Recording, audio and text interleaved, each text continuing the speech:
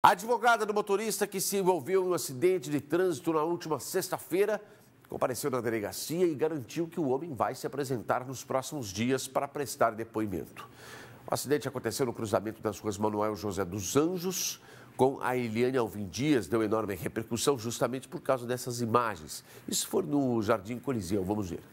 As imagens que flagraram o momento em que o motociclista foi atingido rapidamente viralizaram nas redes sociais. O acidente aconteceu no cruzamento das ruas Manuel José dos Anjos com Eliane Alvim Dias, no Jardim Coliseu, na sexta-feira.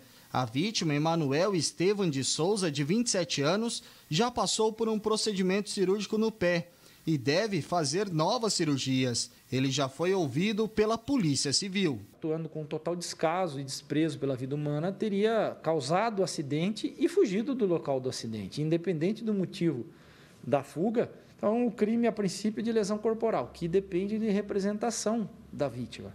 Então, a Polícia Militar fez, o bateu, que a gente chama, esteve no local. É, o boletim de ocorrência para recebimento de PVAT, para dar notícia do fato, a delegacia foi feito hoje, por um parente dele, que como representante dele já foi ouvido, um primo que foi ouvido como testemunha, como é, noticiante dos fatos.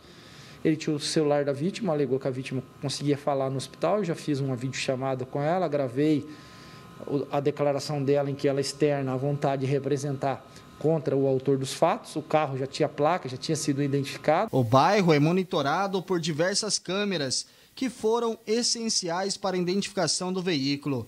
Vizinhos ajudaram no resgate. Não só eu, como outros vizinhos saímos e acabamos ajudando o Estevão e nisso eu acabei servindo de um certo suporte para ele, porque ele gritava também, falando que ele estava sentindo a quentura do, do chão e ele pedia para levantar para ser retirado dali. Daí, como eu sei que não pode né, mover a, a, a pessoa que sofreu o acidente, é, eu acabei me servindo de de, vamos dizer assim, de uma almofada para ele. Eu deitei a cabeça dele no, na minha perna e comecei a conversar com ele, perguntar o nome dele, a idade, é, tentar saber o máximo possível para a gente poder é, entrar em contato com a família dele. A advogada do motorista do carro veio até a delegacia de trânsito e garantiu que o cliente vai se apresentar nos próximos dias para prestar depoimento.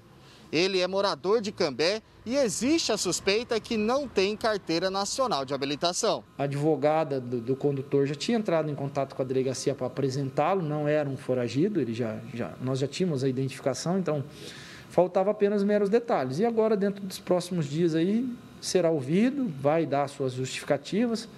Existe o crime de omissão de socorro, existe o crime de fuga do local do acidente a princípio o condutor não é habilitado.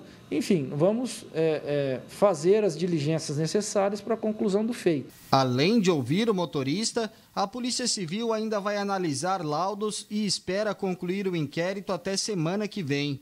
O homem que fugiu pode responder por vários crimes. E é um, um delito de lesão corporal que a vítima representou. Obviamente, as imagens são claras que ele agiu com imprudência ao fazer é, cortar a preferencial do motoqueiro, que, que acabou sofrendo um acidente. Ele fugiu do local do acidente, omitiu é, a prestação do socorro. Então, vão ser somadas essas penas.